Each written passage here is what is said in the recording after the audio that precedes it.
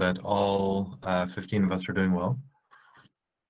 Okay, the recording is started, so let's jump straight in. So morning stand-up, it is 30th of May, day one, week four today. A um, couple of announcements. So you've all seen that uh, the week four challenge is dropped. It's in groups. It's a two-week long challenge. Should be exciting. Should go. Um, should have lots of interesting content. So exciting to see how that goes. We'll have two careers challenges this week. They haven't been added yet. Um, we're going to be looking at how to be a T-shaped learner. And we're also going to be doing a time management and a prioritization exercise. So looking forward to uh, that happening. Um, leaderboard has been released. Um, you can log in and check out the leaderboard as part of the 10x system. Uh, or you can log in through your access and you can see the leaderboards uh, and the feedback on your performance uh, up to the end of week two.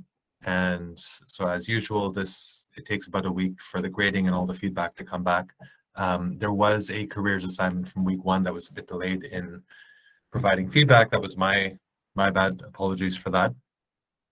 Um, we have this week, we will also, by at the end of the week, as we've communicated uh, as part of the application process, um, and during the week zero process. So at the end of week four, we'll be asking everyone to sign a contract and moving towards uh, getting first deposits in. So this one is a, this is the end of week four. Um, and yeah, we want to move into formalizing how everyone is, uh, how everyone's managing, how everyone's doing, and making sure that everything can run, um, that we're kind of together in this process in a more formal way.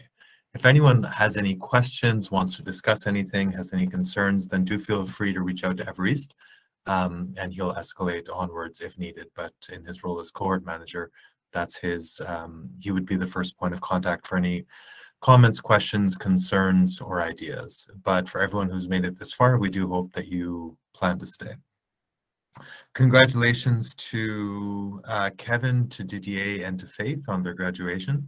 Um, yeah, as far as I understand, it was graduation season last week and they have completed. So congratulations to them. Do I see them?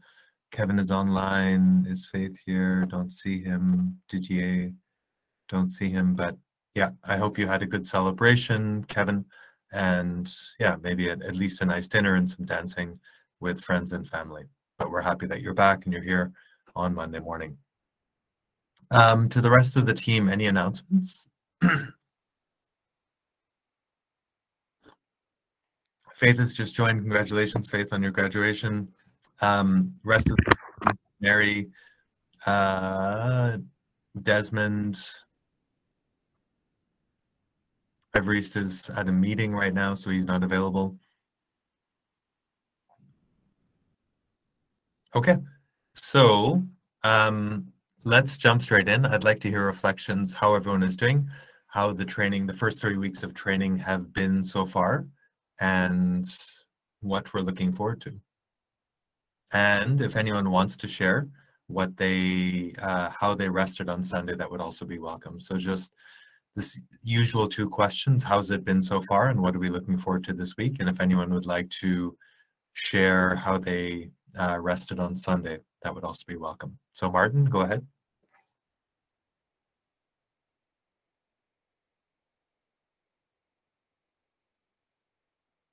Martin? I, I, hope you can be able to hear me. Yeah, we can hear you. All right. Uh, yeah, so it's been a, it's been a great uh, three weeks. Uh, there are many things that we've learned. Uh, we've learned about A/B testing. We've learned about deep learning, LST, LSTM, long short-term memory. Uh, we've also been learning about uh, how to do a simple sentiment analysis and topic modeling. And there are many things that uh, I can say I've gained from the program personally and also non-technically I've also gained a lot of things. And I really appreciate because I think uh, if it's already three weeks and uh, there is so much that uh, we have been able to learn uh, I'm wondering how it will be after 12 weeks. If this this is just only three weeks.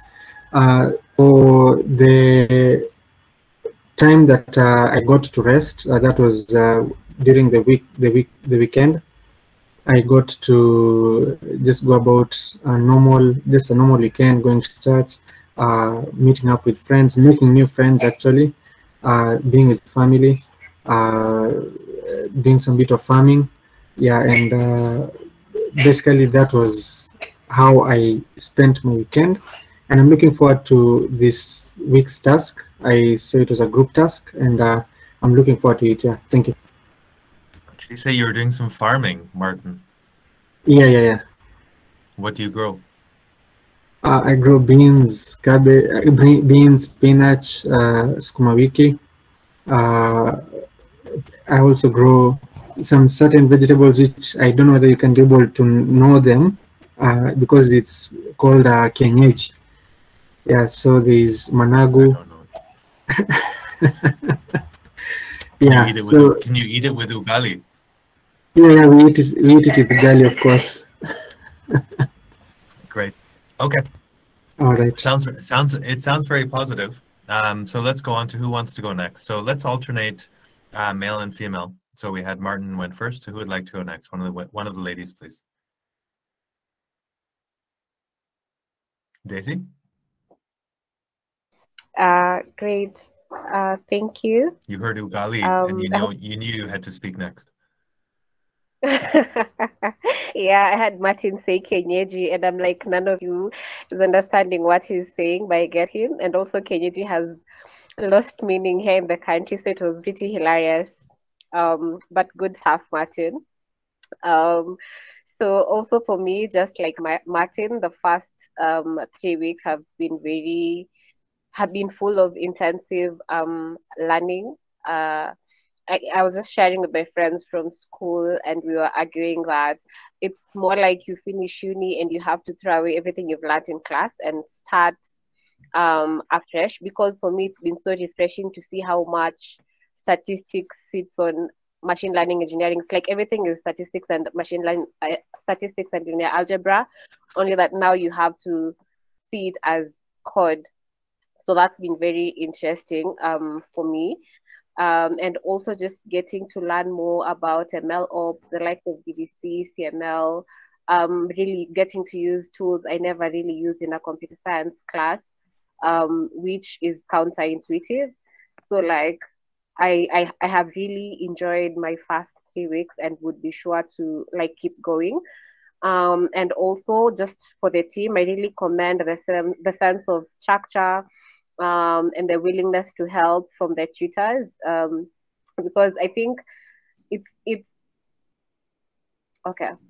Yeah, like I, I commend the sense of structure around organizing to make sure that everything works smoothly and the fact that maybe we need assistance from a tutor, you can always get it if it's within um, the time frame.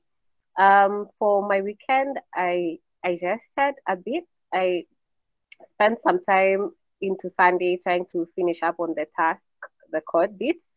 Um, but for the rest of the day, I just uh, cleaned the house, slept, and a few of my friends came over to cook and uh, just eat and have a good time. I'm excited for this week's task, uh, given that it's a group task. Um, I, I really enjoy group tasks because you find that maybe if it's in a team, it's easy for you to lean into your strength Mhm. um, and for other team members as well to do the same. And it's like it's really good if all of you can find that middle point of synergy and just um, work through it. So I'm excited for it, and uh, I we'll be doing it's it's sound something to do with data to do with sound. I didn't really look into it much, so I'm excited because it's going to be a little different from what we've been doing um before. So I look forward to that. Thank you, Arjun. Great. Okay, thanks, Binyam. We'll go next, and then Stella.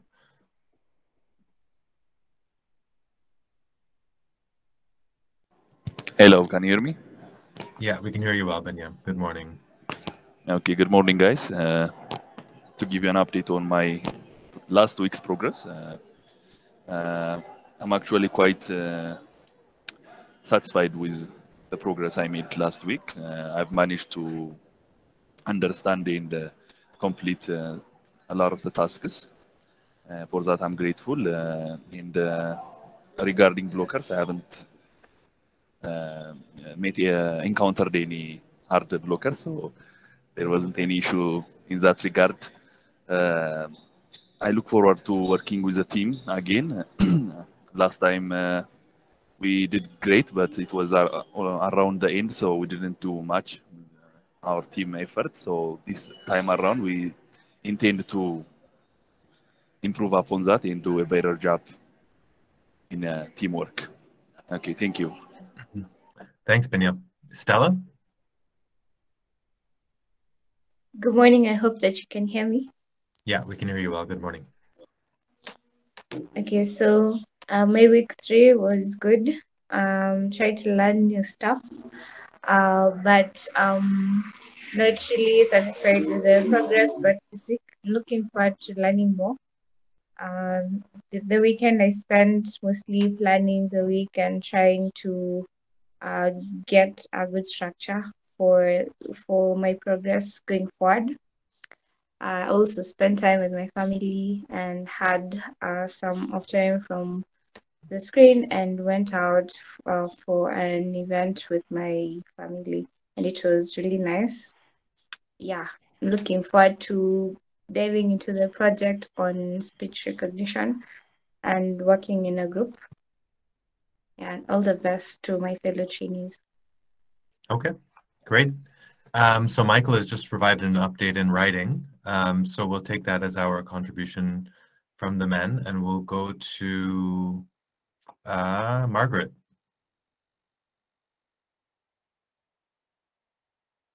Um, good morning, everyone. Good morning, so, Margaret. Um, my weekend was okay. Um, I had a very busy weekend though. Um, so um, I wasn't really satisfied with what I delivered on Friday, but I plan to still keep working on it and add more time this week. Yeah. Do you want? You mean you want to keep working on your week three challenge during the week, or do you want to work on it afterwards? Um, both of them hand in hand at the same time. Okay. Yeah. My advice to you would be to do one thing at a time. I think week four will be pretty busy. Um, this is part of the reason why we have this structured job search uh, phase, where there will be time to redo some of the challenges that you're not satisfied with.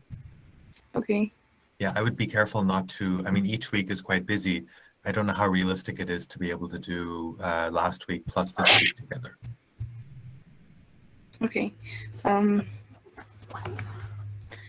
could you please explain more about the the structured approach?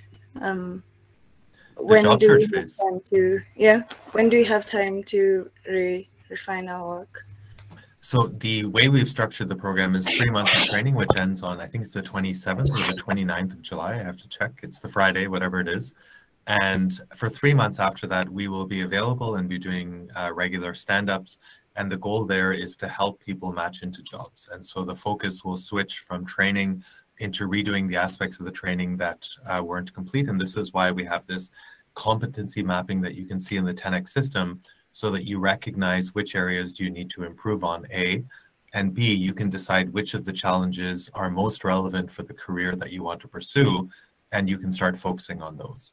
And so during that three months uh, supported or supported job search phase, that is a better time for you to redo the challenges that you didn't feel um, great about, as opposed okay. to during the training. Makes sense, thanks. And our goal is, one of the things that we've learned is people most of the trainees they look forward to having other people around so they're not just going from this sort of rhythm to sitting alone by themselves. And so this is a, a more slow transition from this intensity to a more normal intensity uh, which you'll find in the world of work. Okay. Yeah. Great. Okay great. You did yeah uh, okay. Hello everyone. Good morning Good morning. Uh, so to give an update on last week, last week was good.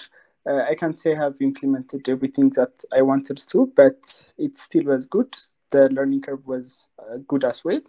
Uh, on my weekend, I still can't say that I've rested well. I've been uh, working on last week's challenge to fix some of the things that I haven't finished fully. Uh, and here's today on the fifth week challenge. But I think it's good and I'm ready for this week's challenge and looking forward to, to work in a group as well.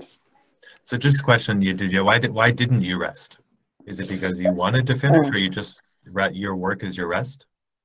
Uh, not uh, no, my work isn't my rest, but there were actually lots of things that I haven't finished that I wanted to. Mm-hmm. I still haven't finished all of them, but I, I, I was supposed to finish at least some of the tasks that I have to finish, and uh, it was just my code base was just a mess before uh, Saturday, before Sunday, so I have to finish some of them for the final submission after submitting, but for the final structure of the code. Yeah, I would just I would just encourage you to also consider work as rest because to let your mind to put the phone away, to put the computer away, and go run around the block or play football or do whatever you enjoy doing mm. is also a way to refresh the mind. Um, so I would just encourage you to make sure that you find enough time to rest because as as the great prophet Drake said, uh, it's a marathon, not a sprint. yeah, yeah, but, but it's it's a bit hard when there is lots of things on your mind and to let go that and just rest around doing something that you enjoy. Mm-hmm. I, I don't know. It's a bit difficult for me. So it's a fair point, but what are you going to do when you have a job and there will always be more work to do than you can finish? Mm, fair point. I think you're right. I should maybe take a break. I mean, that's the problem once you get into work. If they're you're being paid to deliver some value, but if you're if you become the person who will always just work uh, seven days a week, that's great. Your manager will love you, but uh, how long can you keep that up for? A and B, when do you this diminishing return of effort versus creativity? You also have to evaluate that. Mm-hmm. So I, you, you, everyone needs to manage themselves, but I can guarantee you that when you get into work, there will be more work than anyone, any one person can manage, because there will there will always be unfinished tasks. Mm. Mm. Okay. Yeah. So just just keep that in mind. Okay. Okay. Thank you. Yeah. All right. Thanks. Let's go to Nardos.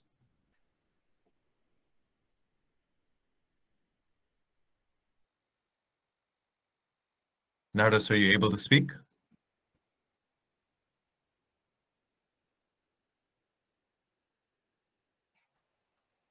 Otherwise, we'll go to Amal.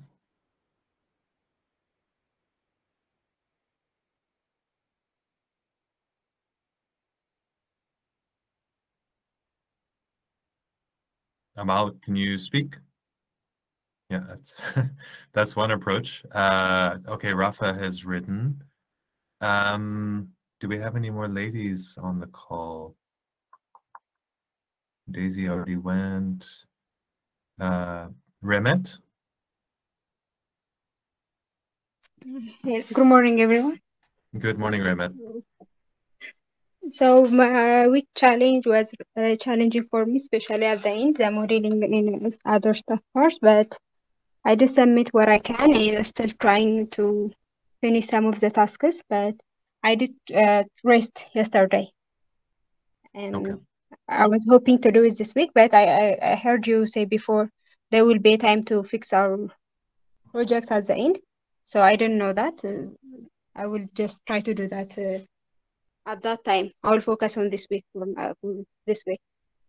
I think it's really important not to try and mix two different things because that accumulation, no one will ever finish um, everything that they wanted to get done. But what you don't want to do is, if we continue like this, by the end, you'll be on in week 12, people will be fixing weeks 1 to 11 while trying to finish week 12.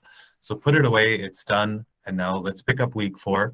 And not all of the projects will be equally relevant to the jobs that you're interested in. So our goal is at the end, once you've identified a track, that you do those three or four challenges super well, which are most relevant to the track that you're interested in doing um, because you can never learn everything, but let's optimize uh, the effort that we put in um, towards getting that job that you want.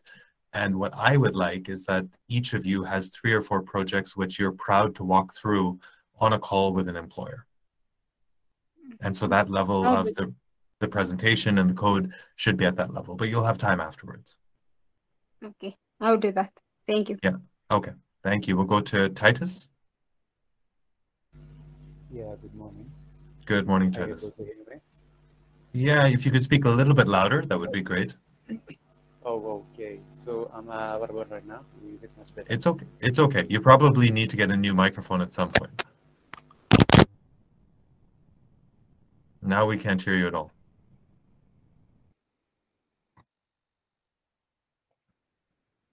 Titus, are you there? We can't hear you at all.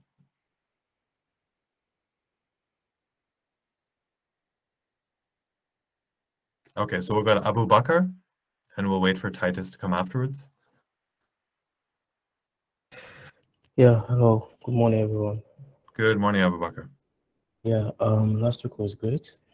Um, I learned a lot, and um, fortunately, I was not able to complete all my tasks in week three, which um this week, because of course the weekend I do rest. So this week I will try to complete some of them, especially the final project. Then um, I just have a quick question. Last week uh, we had an introduction to um, Web three with Cosimo. So I don't know if this week we're going to have Web three um, tax No, so we have one weekly, we have one task per week. So we plan two Web3 tasks um, as part of the entire training. So this week and next week is focused on speech to text, so natural language processing. Week six, I believe, is planned as our first Web3 project. Okay, thank you. I think next week we'll have a guest uh, talk, we'll finish off the guest talk from Cosimo. And then week uh, six, I believe, is the first Web3 project. Um, Abu Bakr, you mentioned that you want to finish your project this week. As mentioned to the others, I would encourage that you don't do that. Let's finish one thing before we start the next thing. It'll be difficult to pick up, uh, to do too many things in parallel. So my advice would be rather uh, finish that, uh, finish one or let it go. Let's focus on this week and you can always pick it up at the end. Okay, sir. Yep. Okay, thank you. All right, thanks. Uh, Salam?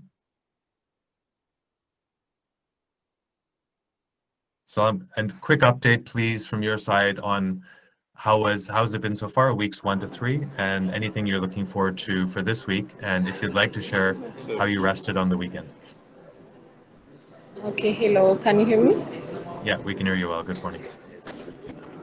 Uh, well, uh, uh, okay, on last week, uh, I would say I had uh, better, I did better uh, when compared to week two. Uh, I managed to understand lots of the technical things and uh, I managed uh, to do the task. So I would say comparatively, it was good.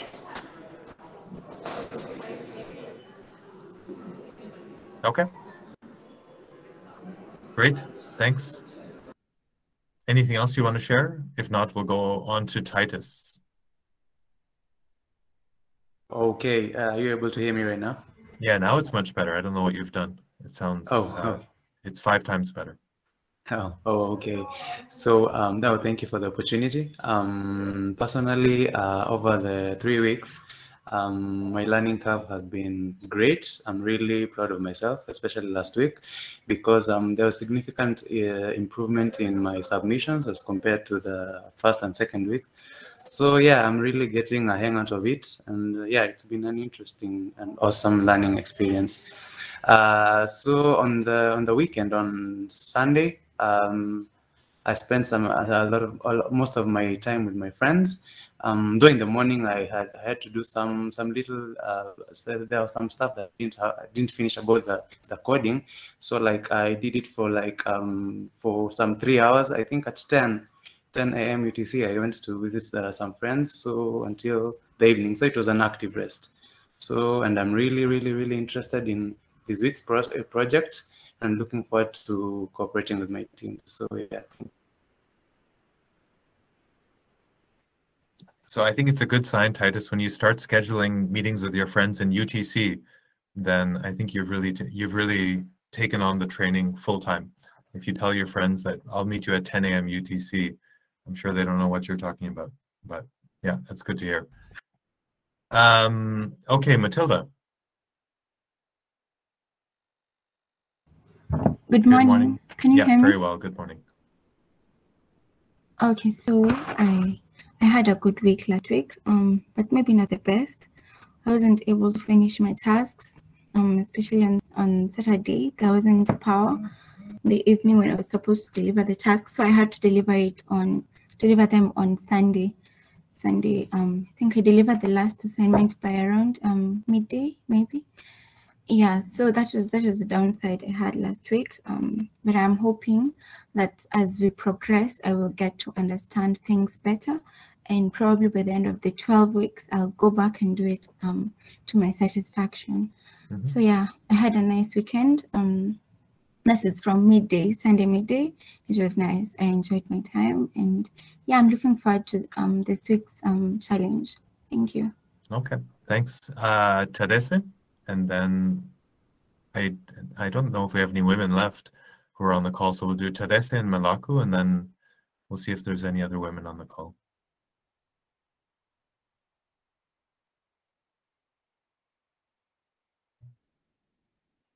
Teresa?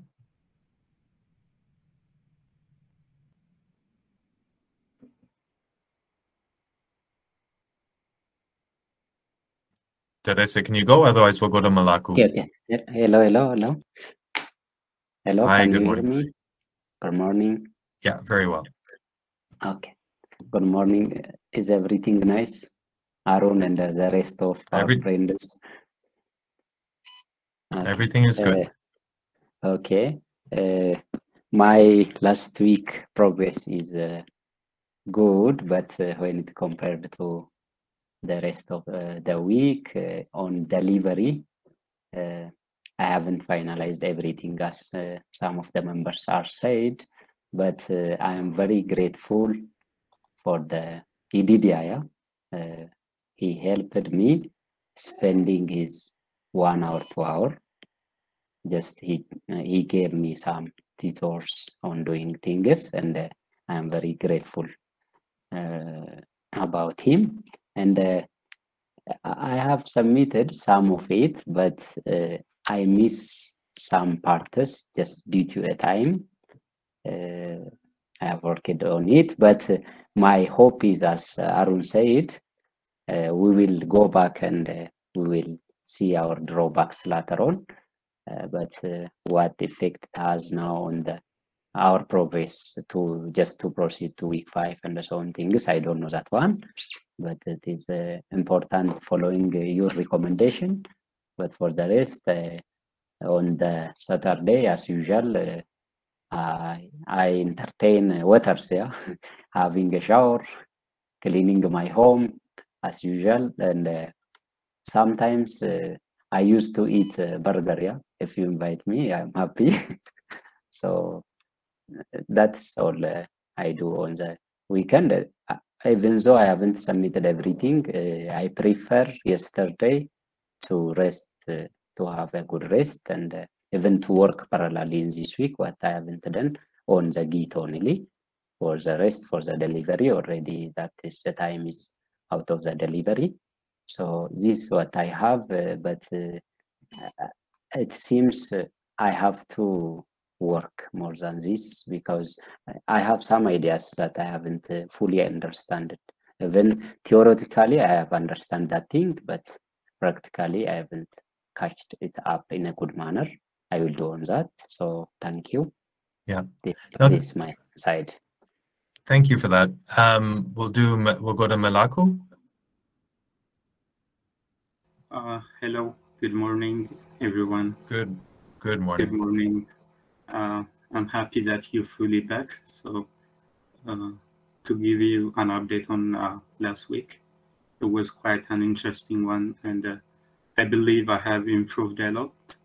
Uh, I managed to deploy my first dashboard, so I haven't been able to uh, deploy my dashboard the previous two weeks. So last week was great. Even though it's a dummy dashboard, I still managed to deploy it. So was quite an improvement. So uh, when coming to my weekends, it was great. I spent time with my family and watched soccer. So it was great. I'm happy that uh, to see Liverpool lose again. So thank you. That was. Thank you. We won't get into uh, Champions Champions League politics here right now. We'll leave it for community community. I'm sure there's there's somebody here who still likes Manchester United, so I'm sure there's there'll be some comments about that. Uh, Ab- Abel?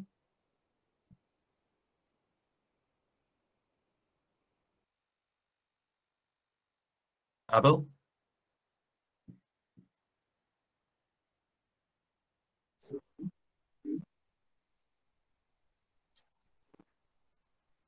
Abel, I, I can't hear you. I don't know if anyone else can hear him.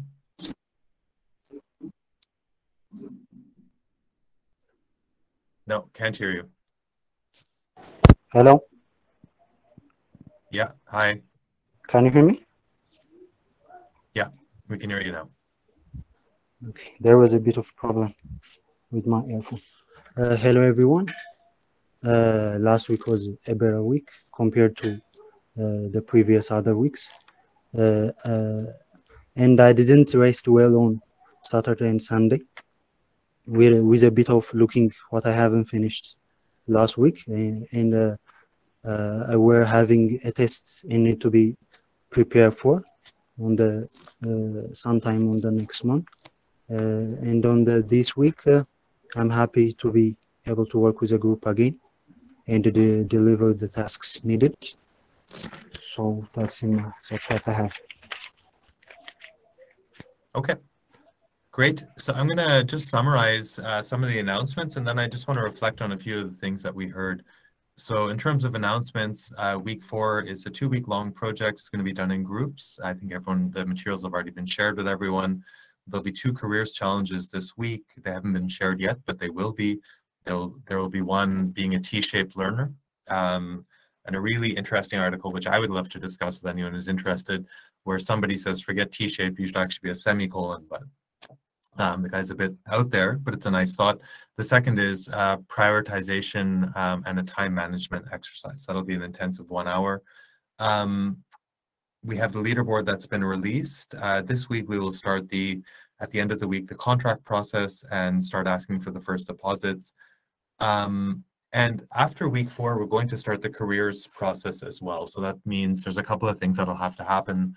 Um, getting everyone's profile ready, working on CVs, um, recording a video, and making sure that we start to align ourselves to what sort of jobs do we actually need to get. And this is why straight away we started with the three world, three real world jobs exercise.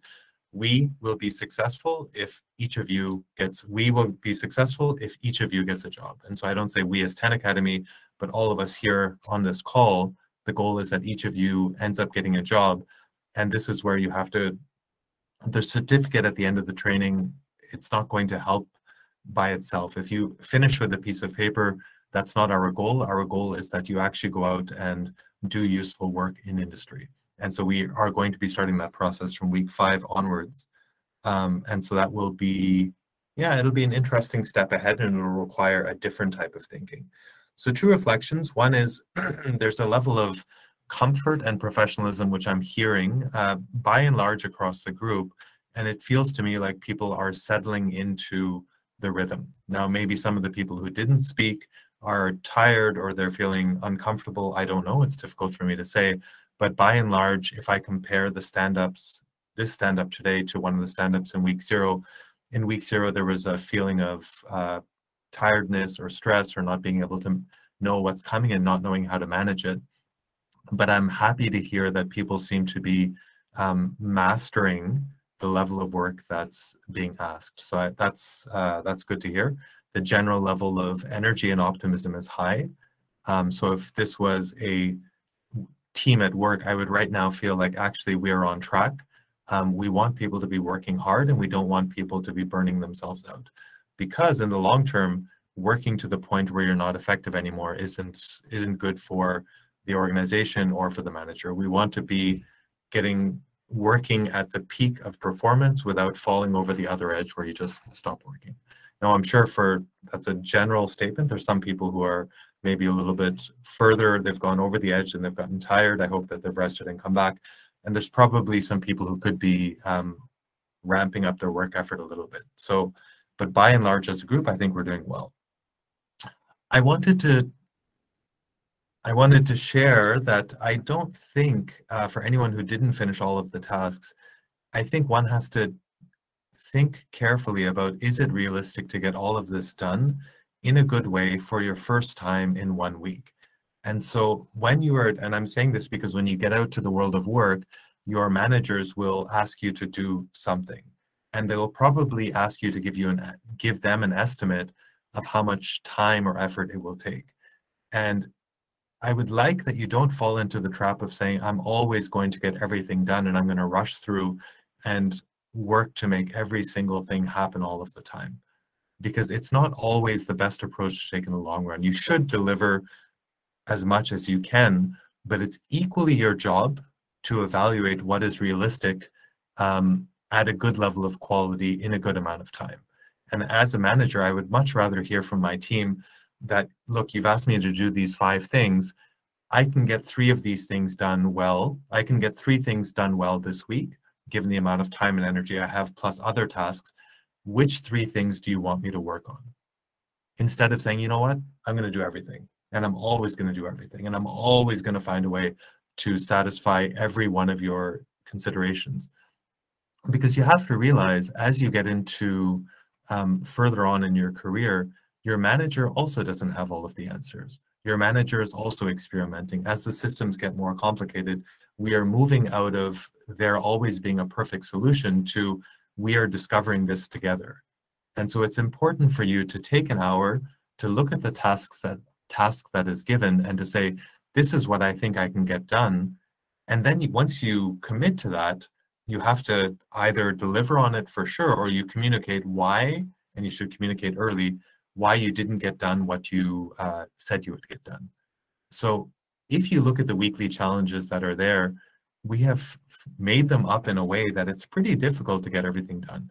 So for those of you who are feeling bad or who are complaining to uh, your loved ones that I didn't finish everything, I would ask you or I would encourage you to think carefully about is it was it realistic uh, to get everything done to a good level of quality in one week or is it rather better to say you know what this is what I've learned this is what I didn't finish write it down make a note and come back to it when you have a free moment because this type of situation where you're being asked to do more than is realistically possible. And sometimes the more is not just effort, but it's discovery, it's learning, it's the testing, it's the documentation. To do all of that in a good way is sometimes more work um, than is realistically possible. And of course, if there's some crazy deadline, the company's needs this right away, then okay. I mean, I've always taken the approach, look, if you want me to stay up all night and get something done, okay, I can do that once or twice, but I'm still a human being. So if I work the whole night, I'm just not going to be productive the next day. So then the next day I would go and sleep. And so you need to have that discussion with your manager. Each of you are human beings. So don't try and don't pretend to be uh, an AWS instance because you're not. So we're over time, but I wanted to just see if anyone had any uh, reflections on both energy level and also around um, prioritization and the ability to say, this is how much I can realistically get done in the uh, amount of time that we have available. And while uh, maybe we can take two reflections, but while people are putting up their hands, I, one of our batch four graduates, this is where him and I would always go back and forth and talk about manager API. So an employee does whatever he or she is told, but a manager starts to think about how do I optimize things and also what do I say no to. So as you mature, you will also start to be able to differentiate between what can I do and what can I say no to. And often saying no is as useful to a company or to your team as just doing as much work as possible. So Binya? Okay, can you hear me, Aaron? Uh, thanks for uh, saying that. Um, it actually makes me be, feel better because um, that's actually my approach uh, to the whole thing because uh, when I started, I actually didn't know much about uh, machine learning or deep learning or um, uh, any of the tools we've been using. But I've been preparing a checklist every week, just a limited checklist um, that I wanted to eliminate out of my checklist by the end of the week. So so far I've been successful. I've I have managed to incorporate more and more tools the, as the weeks progressed.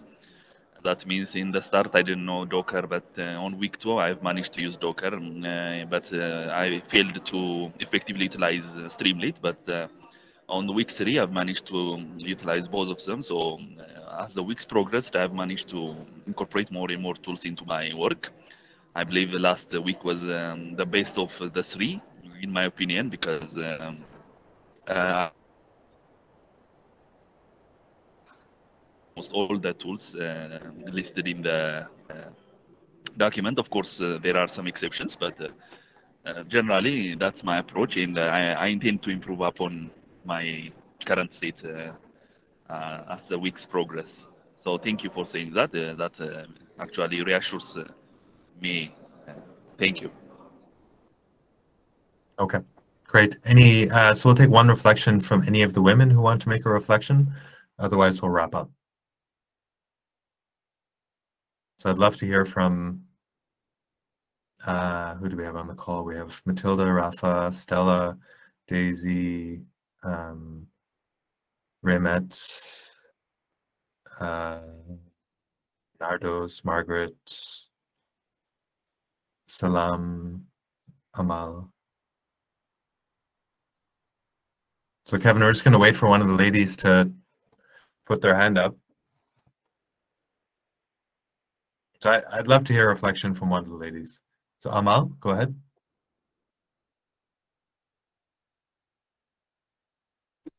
Hello, can you hear me? Yeah. Okay, great. Um, for me, um, last week has been great. I can see a lot of improvement from my side. Uh, I have been able to know how to use GitHub effectively, especially using the issues and projects uh, I've also been able to use um, random forest regressors for prediction and everything for modeling. So I can see improvement. I, I think I'm I'm in line. I don't it. Okay. Great. Yeah. So we'll wrap up with Kevin. Kevin, go ahead. We'll give you the last word. Uh, can you hear me? Yeah. Uh, good morning, and Good morning, everyone. And uh, good. Good I want to take this opportunity and thank you all for congratulations.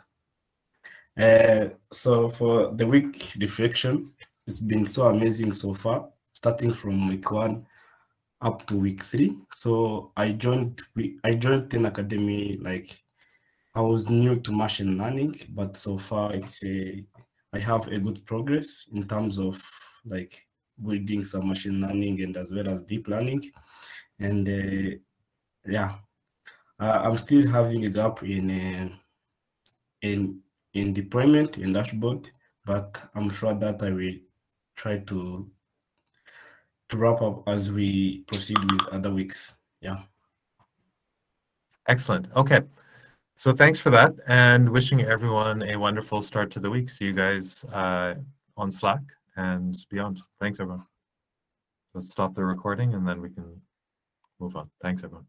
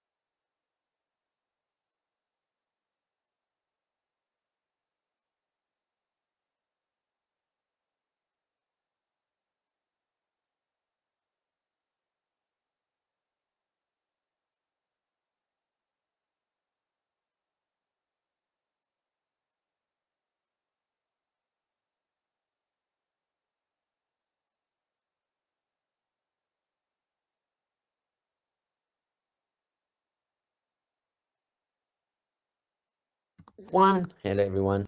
Sorry, just um, I was waiting, but I didn't realize I was accepted.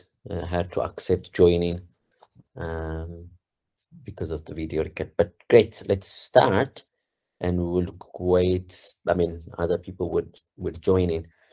So um, I was not in the stand up today, so I didn't know what was like the quick summary, how people felt last week, and you know what th this week is going to be um, a new shift again, just in terms of like we'll be much more focusing on deep learning, and we will be a lot more.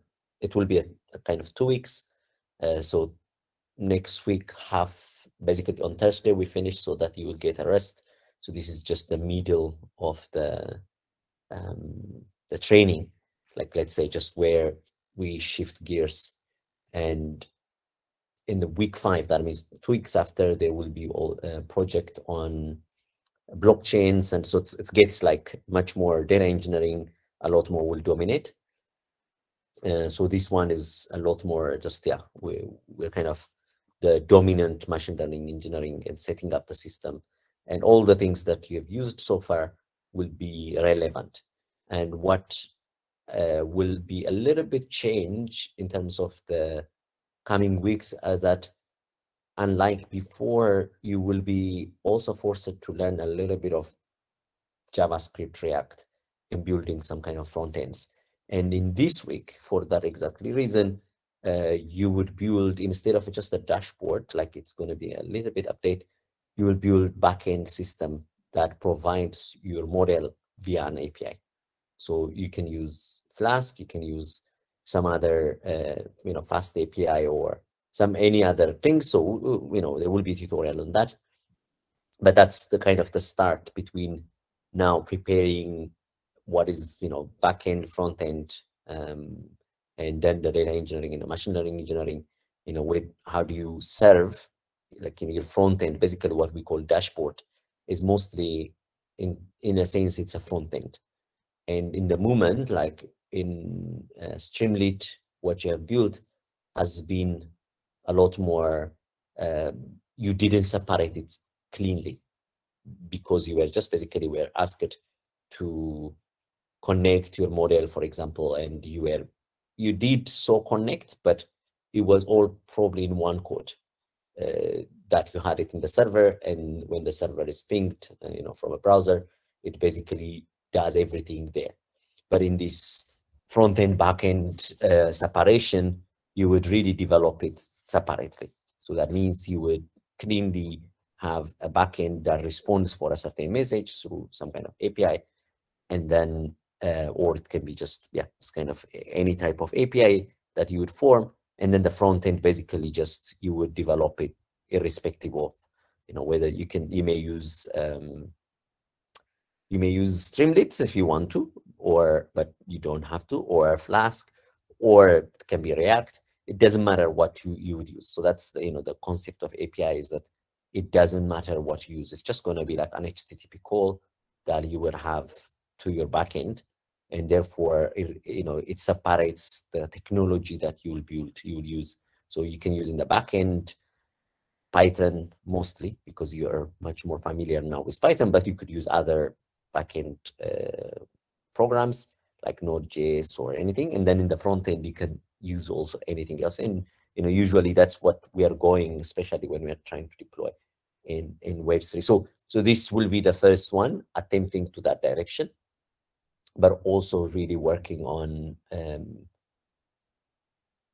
looking at how are these models, for example, in real life, going to be integrating. And one of the things as a bonus this time that you would have a, a task is integrating once you develop a model, trying to integrate that model. It's it's a deep learning model, trying to integrate it into an Alexa or convert it or deployment now instead of as just a backend, you know, as a just dashboard only, where it's not going to benefit a lot, but you will try to integrate it into Alexa skills. So that means it will form as part of like converting it, the process you go through um, and attach whatever language that you have into an Alexa skill. and that may not, you know, I am not very familiar with that as well. So I haven't yet connected, but this is exactly what we will be doing together.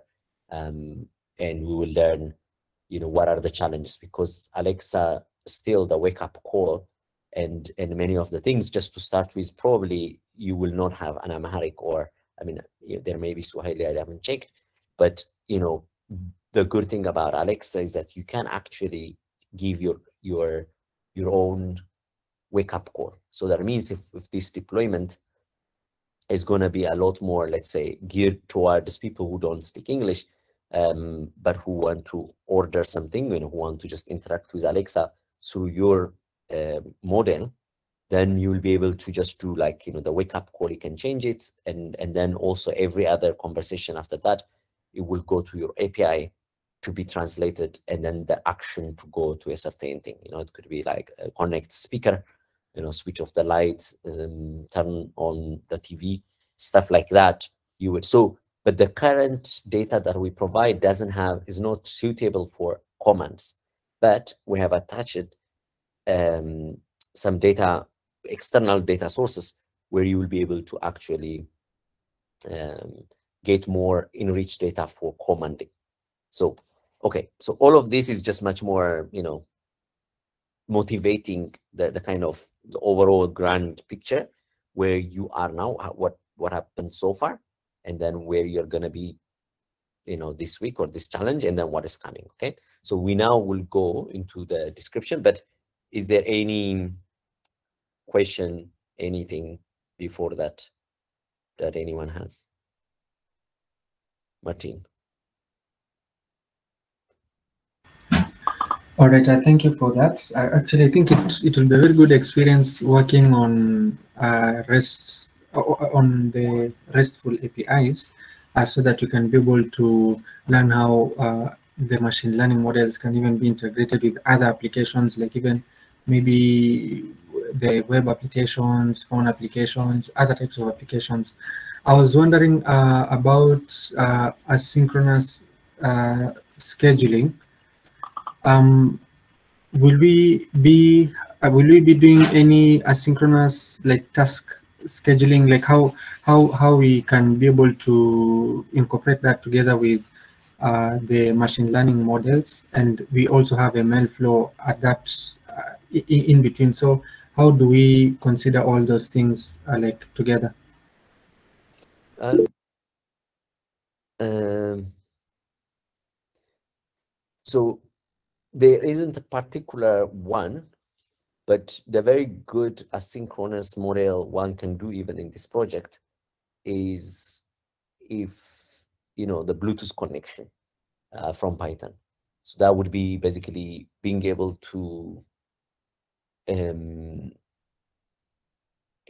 like one could assume, let's imagine, okay, we might not, we might connect or we might not connect via Alexa, but if we were to deploy this one to Raspberry Pi or some other, you know, edge device, um, and you want to be able to read connections from, let's say, you want to connect Raspberry Pi now to an audio, like a speaker, that would require a lot more asynchronous type of communications. Of course, also in your programming, you can always just in, use asynchronous programming. We haven't explicitly uh, done that, like, or at least in the project that we have designed, there isn't um, as like a focus on that. But I think that's a good point. Maybe just we might think about it, and especially usually these things what we are doing is a lot more as a bonus, so people can look at it, especially when when it's a group task. Um, one can try to convert them into a asynchronous, you know, not only asynchronous, but also some kind of parallel computing um, you know, kind of using threads, using sockets um, for doing that kind of thing. So in a way that that definitely is a good point. Um, I'll, I'll see what we can do with that, but not, not in this one, you know, it's just optional. Of course, every other program you can do it whenever you, you, you are connecting something that takes time um, while you are processing, you can always just use asynchronous calls in such a way that you know you you do a lot more um, effectively if that's the case, especially if it is done handled like your operations are handled by a system. Um, then instead of just doing it with a synchronous model, uh, using asynchronous would help. But yeah, as I said, not explicit in the challenge at the moment. So and another one I would like to, you know, to see where we are as a group. Like by now, you you must admit that we are like a, one big team, trying to do sometimes to behave as multiple teams and trying to behave sometimes individuals, but it's really one team, right? So the mood, a way of measuring the the understanding and the mood of the team is important. So I want to know. I have spoken something, let's say, just random right? Some for some it's easy to understand. For some it might not be what I have talked about because I talked about Amazon Alexa skill uh, um, integration. I talked about splitting back end, front end, and I was speaking about as well. Uh, we were talking about like asynchronous versus synchronous or that. So how, my, how many of you just raise? Don't worry. Um, was it kind of clear, like let's say 50% clear or below 50% clear and 100% clear? So let, let's say like who could followed up the conversation or what I said, um, kind of they could understand roughly what it means. So just I just wanted to know. So who didn't understand like fully? Just if you like let's just say who didn't understand what we were talking about, like the, the context as well as Okay, Michael, 50% uh, clear. Just others. Can if you just type because it will tell me, you know, if you don't say it, you're basically I assume that you understand everything, right? So I just wanted to know, you know, who's confused, who's 50% clear or more. Stella 40% clear. 40, 16 or 60 maybe, okay. Yep. Okay, they see. Bit confused. Okay. Tesfaye 50%. Matilda not clear. Bit confused. Margaret. Remet 20, 30. Bit confused. A lot connection in the middle. Great. Um, okay, design for me, it's like the variable is in the detail. Yeah, true, but it's the same for everyone. Great need some time. Uh, 50 less than 50% joined when you started talking about Alexa skills. What skill are those the command Alexa is able to understand? Yeah, true, Henok. So it's about being able to play with integrating our models.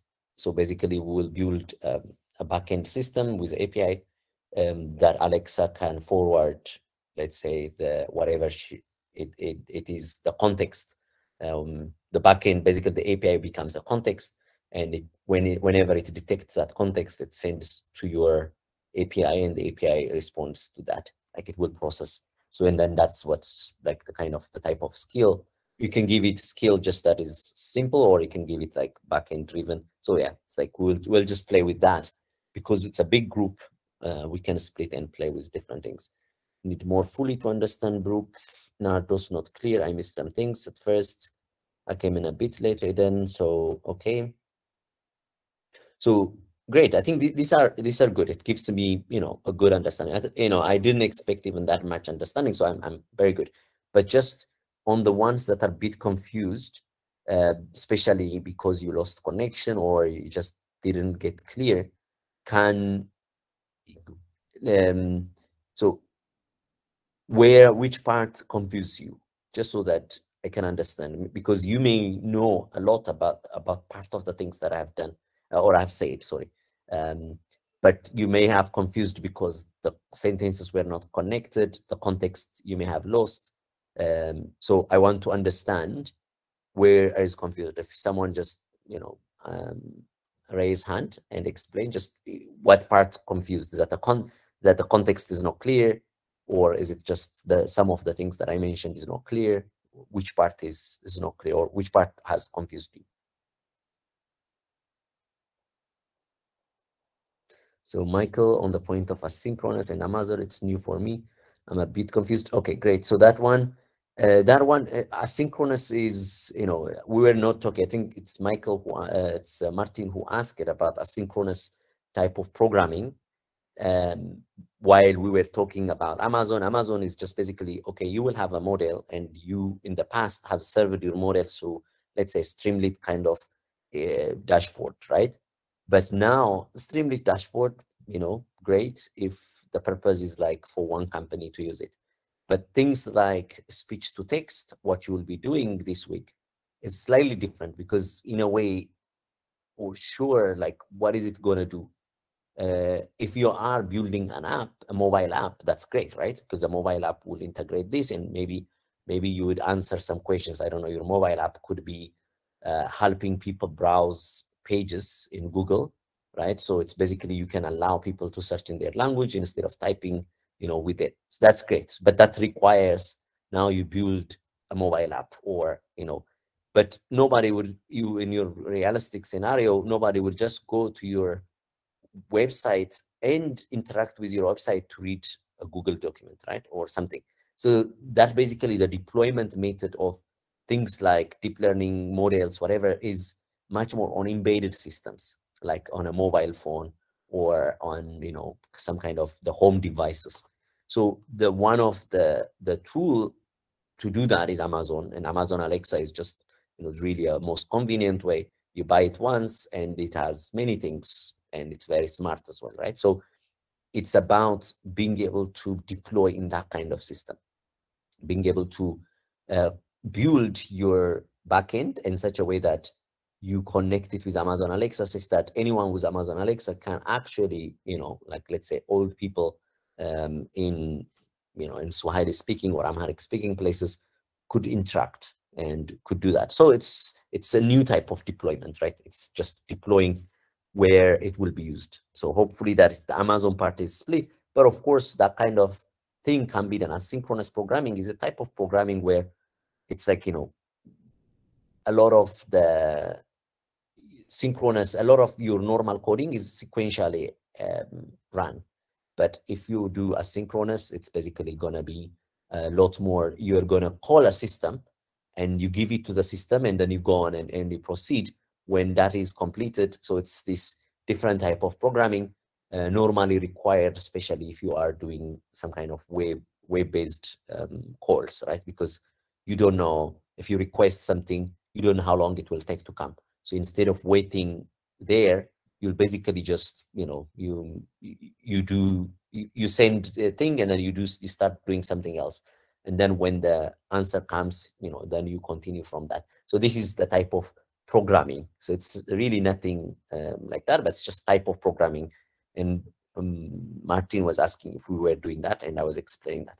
Hopefully, Michael, yeah, great. It's clear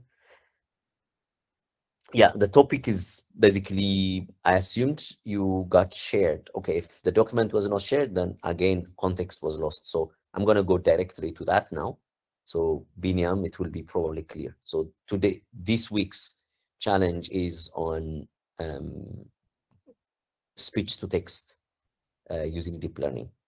Right? And so you will be doing all the pre-processing and the data um, pre whatever and modeling with um, you know just deep learning models to be able to understand language in Swahili and Amharic to to really then uh, take the context or basically turn them into um, into a text, right? And that text, the good thing about that text is that if you assume now this is a command, just as simple as command, let's say, you know, um, left, right, on, off, you know, like that, then you basically, given now that you have the text, you can use that text to, in your code, basically, to, to do anything. So for example, uh, a switch off, you know, the TV, basically now this is a command, you understand it, and therefore you basically just say like, okay, so you search, you know, you, you take that command and, and do some action.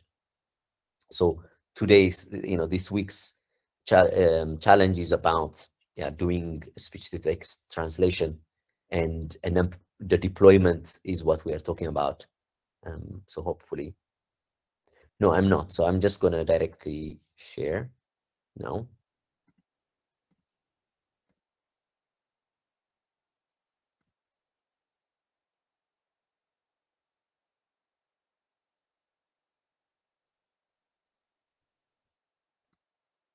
Okay, so that is the one. So, but it's still like um great. So th- are things now slightly clearer for some people? So a- again, you know, before I'm I'm I'm gonna share, but I just wanna say, like, was the context um anyone now got the context or so i mean we'll come back to it maybe just that the good thing is that let's keep this one people got confused about what we talked people who had uh, slightly below 50 percent uh, understanding. Just don't forget what you haven't understood so far and then if it's things are getting clear i will ask again. So just keep um, you know keep pay attention. Um, and then we come back to exactly that the what have we done so far? What are we expected to do now? And then what will be the future weeks looks like okay? So okay this week's challenge is in african language speech recognition. So it's a speech to text and basically assume like just for the context that you needed you know this you are employed you know you are by a company that is interested to do uh, this for a number of reasons, but one of the reason is just, you know, this is just a motivation. There are many of them. You could actually try them also, the APIs. Some of them are free, like at least for test. But in this case, the context is that, okay, let's imagine that the World Food Program wants to deploy an intelligent format that collects nutritional information of food bought and sold at markets in two different countries in Africa, Ethiopia and Kenya. The design of this intelligent form requires selected people to install an app on their mobile phone. And whenever they buy food, they use their voice to activate the app to register the list of items they just bought in their own language, right? The intelligence systems in the app are expected to live um, to live to, uh, to live transcript the speech and organize the information in an easy uh, to process way in a database. Okay, and you work for a data science consultancy, which is chosen to deliver speech-to-text technology for two languages. Your responsibility is to build a deep learning model that's capable of transcribing a speech uh, to text, and the model you produce should be accurate and is robust against background background noises. Okay, that's clear. And in a way, that really what it means is that in this case, it is of course the element is um, think of it as this is a mobile app that was developed. So you could deploy it as part of a mobile app, but almost always you have to know this this time, and you can't just put it. Of course, it would be nice to not have a network connection to the, just to put in the app itself the model, and then there's no connection with the backend. But for versatile purposes, what you do usually is that you separate the backend and the front end. In this case, the front end is the mobile app, right? The mobile app um, records, it uses the system's uh, peripherals, you know, the mic, the whatever, the, the speakers, whatever, and the location to collect data.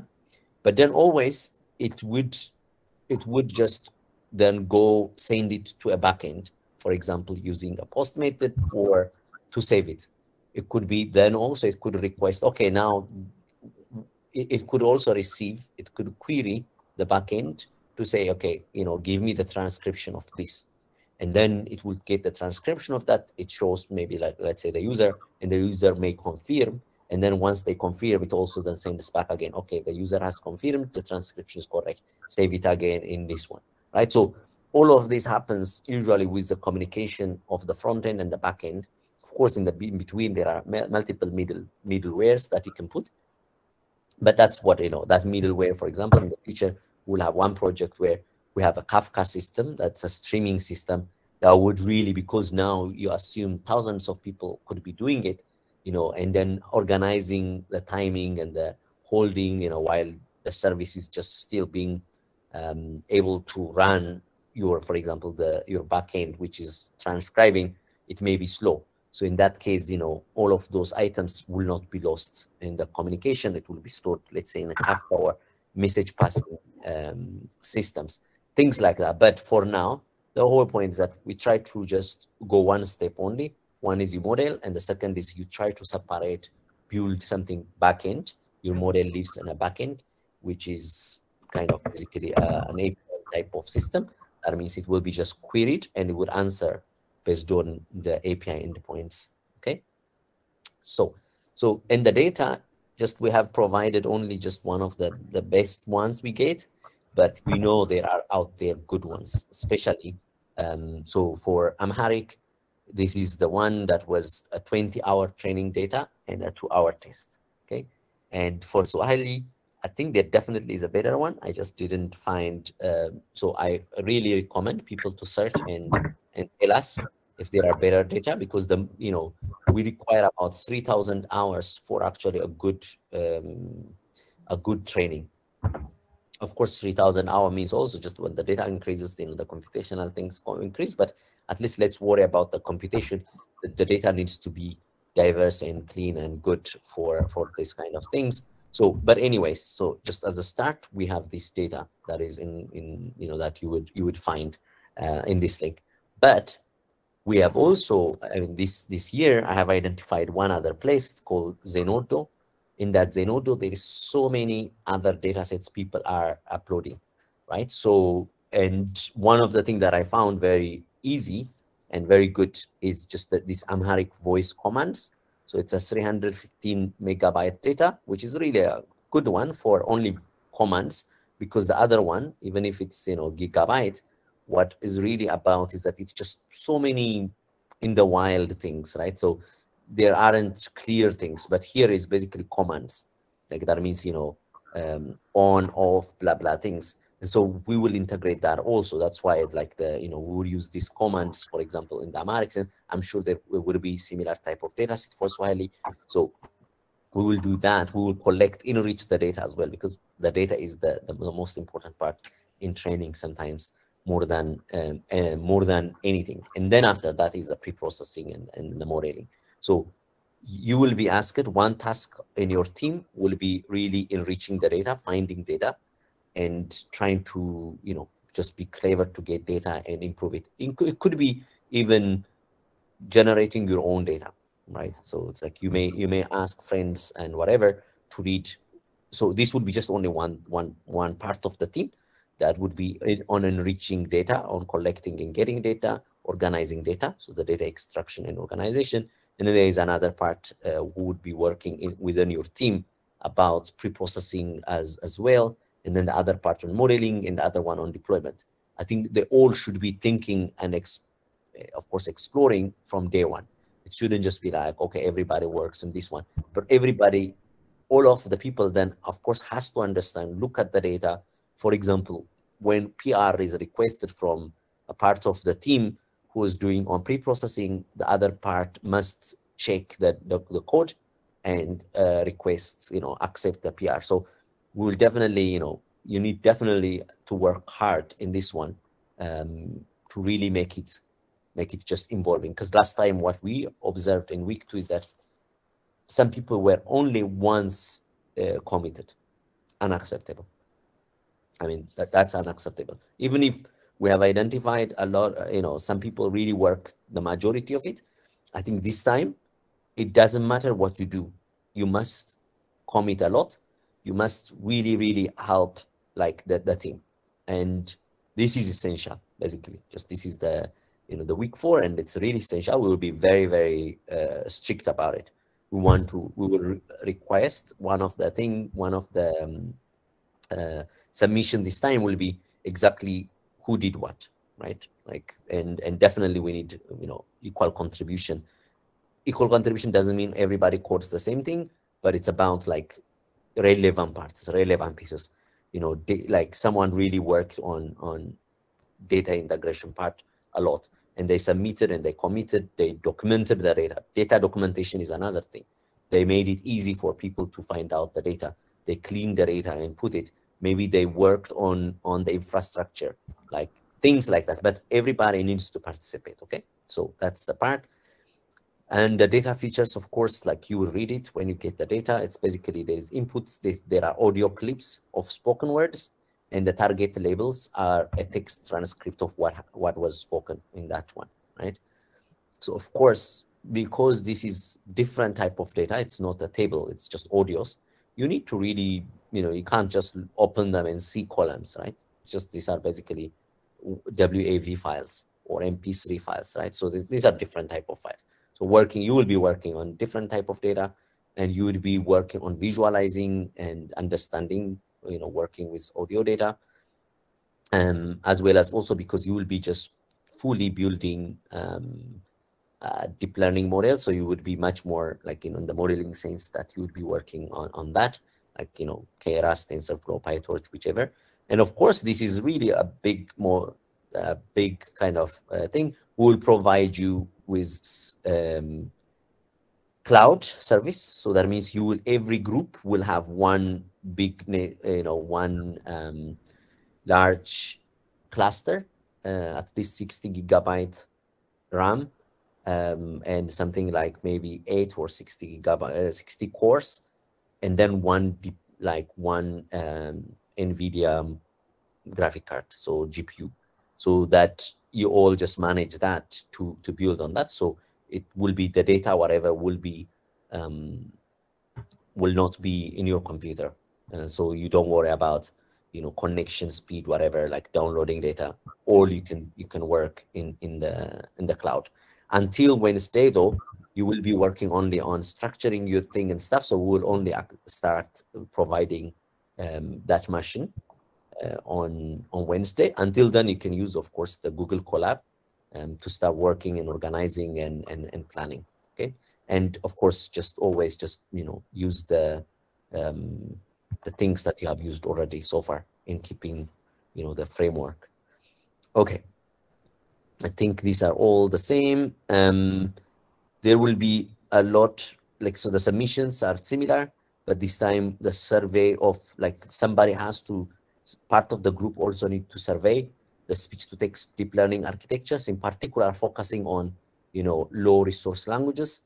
So they must present and, and you know, like, so there should be like that. And the discussion formats um, of data formatting and pre-processing, for example, this, you know, this is a different audio data. So how do you convert an audio data into features, right? So ultimately you need features. What are the features? Is that just like the timestamps or do you convert? So that's called, in this case, we would ask you to do some kind of uh, Fourier transform, and then you would use the uh, Fourier uh, modes. So these are called the MLE spectrum and the character representation, etc. As you know, that you need to discuss. That's in the data processing and data visualization. And then, of course, you would start really thinking about in your model, you know, what makes it better, right? Because you're you are working towards getting a better uh, model that provides that understands like you know that has a high high accuracy. Um, so yeah it's kind of again because this data you will see in in in at least i understand amharic in the amharic language for example there are a number of things that are just so the 20 hours is so not representative. And it has some things you know that are not that are not expected that in your daily life like uh, that you would get so it maybe is a bit formal or a bit, you know, so this this is especially when when it's like 3000 hours, it gets really hard to test, to check everything. Even for this 20 hour, you will not be able to check everything. So it's really an interesting concept to know, you know, do you actually know your data, how biased it is, you know, um, in terms of its language usage, in terms of its representation of different cultures um, and stuff. So one part of your group also needs to look into this the ethics bias and fairness perspective of the data you know so it, it needs to report on that. And then of course you know that's that's all just let's say between the interim submissions. So that's there are two interim submissions this this time. So one is on wednesday and the other one is on saturday. And the final submission is on next week thursday. So the two the two interim submissions should discuss you know, a number of these challenges. Um, on both the technical element, the survey element of, you know, what has been done, you know, what are the models that were inspired, that were good, that worked for these at least two languages, um, and what are the data that are available that one can use. And then also on the ethics bias you know what is you know have have you checked uh, checking on the biasness and the fair representation of the data uh, that you are working on. You know it's like how is it collected? Do you know? So there are uh, a couple of things that are called I will, I'll, again I'll, I will I'll give some references for that but there are called data cards um, and model cards that were introduced. And so you try to probably build those things okay? So yeah. And then in the final report of course you do exactly just like before you try to really detail your experience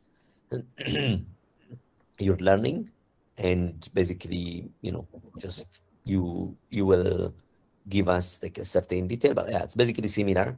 You basically just summarize every of your finding in all aspects like in the ethics aspect in the you know pre-processing aspect in the modeling aspect uh, in the data enrichment aspect if you really do a good summary and a good review this can really be your you know you can present it even you can hope to present it in big conferences um, at least you know like that's possible. Um, and then the rest is also of course this is important because you're going to get different data different things. You'll be working and fusing data um, and so that's the part. And the dockerization whatever i think is you know most important here is that how are you going to deploy it especially when you are thinking of backend you know this is important because systems fail and they need to be easy to deploy right? So and again the ml modeling part that's basically just uh, it. Like i think you know everything here. And the limitations of your work whatever you have to uh, explore it as well. Like you know you have to test your model. Does it really understand basic things? Where is it good? Where is it not good? Um, so you need to understand that element. So this week you will be working in a group. So there will be only five groups. So that means one group is really bigger this time. It's about almost nine. So one two three four five six seven eight nine. Some might have 10 but it's about nine or 10 um, and there are five groups so each group will receive one computing cluster um, and basically one which which has also a gpu connected to it. And that means you have to provide so what you would to get access to that is that you have to provide you have to generate um, ssh key and you have to send it to um, abdullah and so he will reach out to you as well but it's like basically you have to be able to generate um, a ssh key and you give it the public key to him um, sometimes it you know our experience that is really hard sometimes some people is new so he would provide also a reference for that, but almost always um, it's just easier, you know, to follow that guide and generate that. And Windows users, you know, be careful. There are sometimes it's much harder. And so in that case, it would be easier if you have just, I don't know, Linux somewhere to generate from that. Um, because the Windows, I think, you know, there are a lot, a lot of people with experience in Windows, so they can help you. But like setting up like SSH key um, to log into something using SSH. I think it's PuTTY that you will use in Windows if you are using Windows. Uh, but if you are using Linux, I think it's just super simple. It's like um, so we'll provide also some kind of guideline. Hopefully, just some people already in the past had solved these things. So we would ask, like, you know, people are starting tomorrow, we might have a special session on how to generate, you know, how to basically log in SSH from Windows and, and Linux and Mac. I think Mac and Linux are the same. That's why it's just uh, identical more or less. Okay. So at the moment, what I have, uh, you know, I it says that you you work the whole the same group works in in both of the languages. I think this is much more of from the sake of a lot of people mind you know not every team has like if I if I assign, for example, just um, Swahili to some of the teams, it seems like there might not be um, easy like good representation in the Swahili sense, for example, to for people to understand because I'm not sure how many people are understand and speak to to help on that one. So what I have instead is that imagine just both Amharic and Swahili, of course, they have their own, you know, like especially text processing element. Amharic is very different because you're using Amharic text processor, while Swahili is easier, at least because you're using um, Latin characters, right? So that's kind of that's why you are expected to do on both, but you can specialize if if the group decides like let's specialize on one, but then only we will do on the other as a just as a kind of like applying the same techniques on the other data and see um, that's also possible. So you can, if you prefer as a team, you can focus one and then on, on the other language, you can actually just basically, you know, test, use it only as like, you know, how's our, you know, model, which is optimized for one language have, acts on the other language. So within the team, you can decide, okay? And also depending on the type of the amount of data and, and, and the amount of things that you, you know, the amount of help there is. So I would say, I would expect naturally at least one team would specialize in Swahili. Um, so not everyone should, because I think this is exact my bias, because I'm not, I was very familiar with Amharic uh, kind of data. I was asking a lot of people on that data and I get that data. But for Swahili, if anyone knows, please let us know so that we can get a very clean and, and good data. So that's again, you know, just one form of bias. The person who designs it kind of has already even the bias starting from there, right? So you can help um, in that regard as well if you are a Swahili speaker. Okay, so all the rest you know, and I think this is basically um, your part. Like you do, the instructions are the same. You know, first definitely really understand, plan, um, I think hopefully this week we'll follow one team or at least one team's plan and we showcase it just every time we we in our stand-up we'll, we'll track it right and definitely set up this DVC MLflow CML. I think this is just, you can nowadays just pretty easily set up it um, so that, you know, this is your default. Um, and basically explore data, visualize, transform, apply data augmentation technique, review pros and cons of different tools, Keras, PyTorch, TensorFlow, and choose one and easier. Like, of course, if you have enough human resources, you can try to build, you know, models in different, um, you, can, you may choose Keras and PyTorch, right? Or PyTorch and TensorFlow, something like that. So you can actually, if you, if you, if it's up to you.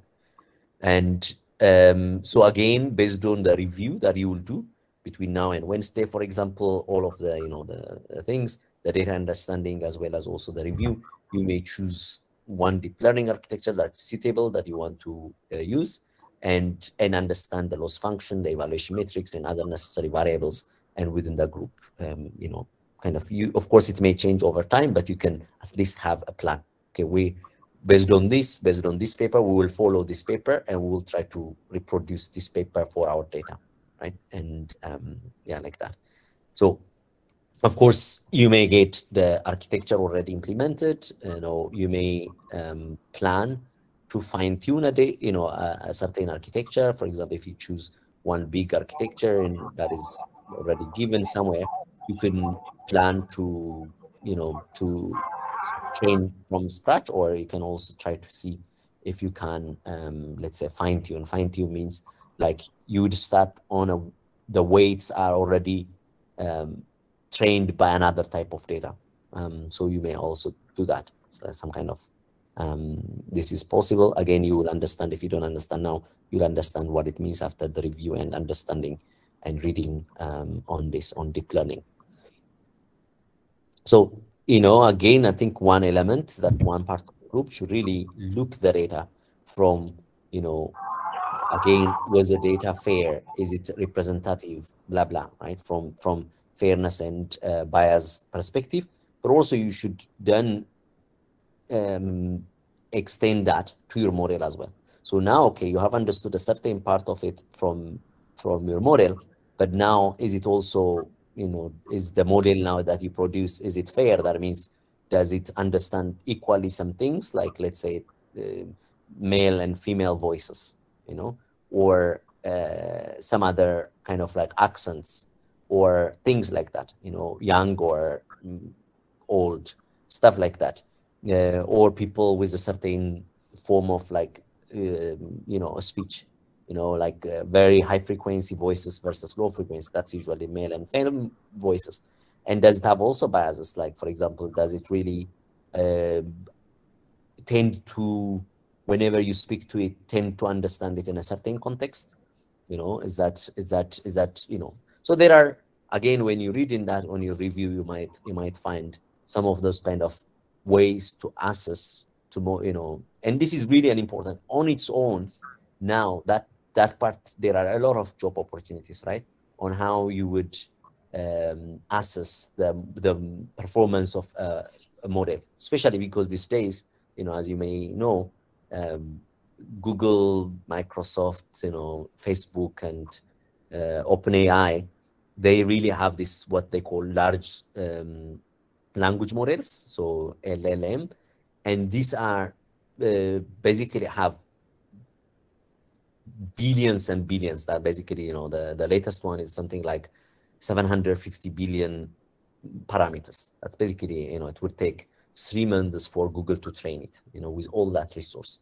And um, GPT-3 is one element in that it will understand. Of course, it's not speech to text, but it is again text to text that you you would give it a seed, and that will be one part of our training in the future. So there will be it will come as part of us you know, using GPT-3 or and utilizing GPT-3 for document scoring or something will be one of the projects maybe in the future. So in a way, you know, this is by itself like interacting and finding out biases and uh, fairness of a model is really uh, a niche market now as well. So just, you know, the part you should take that one also seriously and how to evaluate that, um, whether it is biased or fair and all that. Okay, so when you read on that, you know, that you, you will understand a, a bit more detail. So the rest is basically just these tasks are a bit detailed. So, um, you know, what to do and gives you, we give you, I think, a starting model. Um, just you can you can look at at that at the, some of the references. There are already, you know, some codes that you can use from from some of these references. Okay, um, and then in the modeling again, you know what what it means. Again, the team should work in such a way that you know the pre-processing part, the modeling part, even the, the text, like the report part, somebody has to just PR it. That means pull request. They add it and they work on a branch, they pull request, even if it's like a README that you read, you pull request, or even if it's a report that you write, you know, your report can be written also as um, markdown, and then you PR it, and someone just looks at it and approves it. So work as really one company team, right? So you are basically a company team, and you need to just um, basically start using that kind of i think you have already a lot of you have already been doing that you have been merging and stuff that's great some of you haven't done or at least forgot to do that so make sure that you really work in that kind of collaborative way without you know without worrying about conflicts resolve them and stuff like that that's a real life so get used to just the real life of like but at the same time if you all create organization it's easier because what last time I saw, even despite we requested that you fork and submit, some people just submitted someone's, um, basically someone's, the link directly to, to um, another person's repo. That's not good. The reason is because when we are now analyzing it, the credit goes to that person. Unfortunately, I mean, it, it gets, it, it makes our 10x life hard because we always want to show from your Git the information about it. Now, if you send, if you give us, you know, the link to somebody else, then what we are presenting, you know, their kind of their whatever is not about you, and that makes it much harder.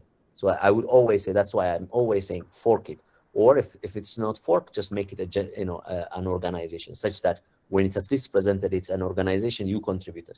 But even if so, really make sure that this time that you don't get you don't get lazy. I think these things just be explicitly stated, and it wouldn't have taken a second. You just fork it, and then even if it everything was done on somebody's um, repo, you could have just forked and submit that. And I think some of you just didn't understand that or ignored it, and I think that's not good. That's not a good practice.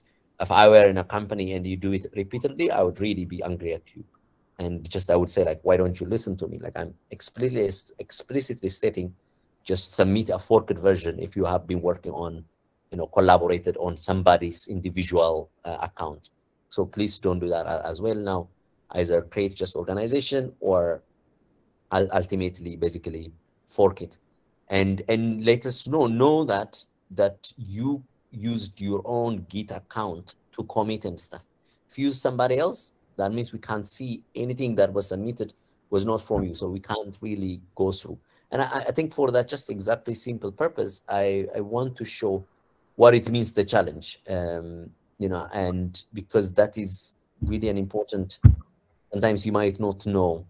Um, so do you see my screen?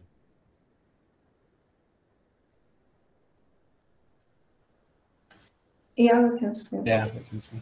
So now you see like the way that we do is really just we go here, you know, we look at so pull requests, okay, it's one closed. Definitely it, was, it can't be one closed, so I will just go to the original one, let's say. Okay, that was forked. That was great. You know, that's what how we ask it. And then let's say we didn't check, okay, pull request. Okay, so there were seven closed. Sure, at least because I knew from where it was forked, I could go to the direction because usually when you fork, sometimes it might not fork the pull request history. But I can see what was closed. And, you know, I can see, of course, CML didn't work here because the test didn't pass. You know, I can go, I can see that, you know, uh, seven already was was merged, right? So that's great. You know, it's kind of, I know exactly who merged them, who requested them. That's fantastic. You know, like I, I would go into that. And if I just still want to go to like, you know, now for your analysis would be that. Then I would go there. Okay, how many people interacted? Okay, so Malak, how many times he has contributed? I would want to know his contribution, and I would click there, and I would see all of his contributions. You know, this person has been really contributing a lot, working a lot, different days. It's not one day. Fantastic. Okay, what about another person? Um, let's say, um, so let's say just in this case, TDDY, okay, knows like how many times. Okay, reasonable, because at least multiple times they, they committed, but the number of commits you can see is really the contribution for some reason is of course, but then I also see like whenever we grade, what we do is that we also look at what did you do? Did you do actually significant work, right? Because I can go, for example, in the renaming folder, even if like that, I might just go and see how many things that was changed. You know, the change was only one single file. Okay. Um, okay, so then I would look at like plotting scripts. Okay, what does that mean? Is it big or small, right? I would just go four changed files. Great. So that means, and how many insert? So this basically means this person has actually done 83, added 83 lines. And that means basically this person added this new file. Great. So I can see that this person has been working. So that attribution of the code quality, whatever comes, you know, uh, is that's my, I'm just forming about the contribution as well as also the degree of contribution. Is it just only a simple one line contribution versus, you know, creating new files and with, you know, the, in this case, a really highly structured one, right? So again, here, 50 lines, you know, so it's great. Like that's what we you see also. So that means this person, even if the number of commits were smaller, I see that they, you know, contributed significantly there. And, you know, in the fixing bugs, like what this person do, how many files? Five changed files. So that means this person in principle was doing a lot, contributing a lot, but probably were not, uh, you know, they were just always waiting so long to um, submit, to commit. That's not a good habit, but at least, you know, they get the value. So in, in terms of the frequency of the commits, they might not get a good value, but um, at least in terms of contribution, we know that this person really contributed well, right? So the same thing, we can go to another person in the team and we'll basically see like whether, you know, how many contributions. Again, here, really multiple days, that means good because at least three per day, we, we think is a good number to look at a minimum. So three is minimum. You know, it's like if you are just like at all not con, you know, below that, it's basically you are. And then also the the the type of contribution. You know, is the person working on, on one element? You know, multiple elements. So you can see like on the modeling, on the part. So this is exactly how we do. It will take us time, make it worth giving you, you know, a good advice uh, on that. And if you don't commit, we really see it. Or if you have committed but used somebody else's um, login, again, that is attributed to that person. So this, you know, this is the way of like, not only that we do it here just because we want to market, but in my company, people see my commit histories, people see that, and then they would come and say like, okay, you know, you have in these days, you have done, uh, you haven't committed this much, you know, what is the problem, right? So people just in any way, in any group, they do it that for you. So know that, like, you know, know that this is your fingerprint. That's why we, we keep saying, um, and people, you know, just, they trust your work than your, your, sometimes what you tell them. So this is really a great way. And that's how we use it as well, just for attributing. So just, just making it clear. Okay. Okay, so again, that pull requests, that format, that uh, the, the kind of resources that you're using, such that there's no, you know, smooth. That means one is not blocked by other because they just pull request and continue branch it. You know, multiple branches we see, like as we as we saw earlier, you know, this group is really great because they were just forming branches and working on them and maybe putting a pull request and uh, another person applies and kind of approves by looking at the course, whether it's like it doesn't break, whatever. Of course, the test runs, as we said, you know, we can, of course, look also in the actions, you know. So in this case, okay, they haven't worked on the action because all the actions they, they worked failed. So that means their test wasn't working, right? So, you know, some others probably have done better in terms of like the, so it's kind of, you know, if I am a pull request uh, thing, I would say like, okay, you know, you the test that we agreed on is not working. So can you fix that one?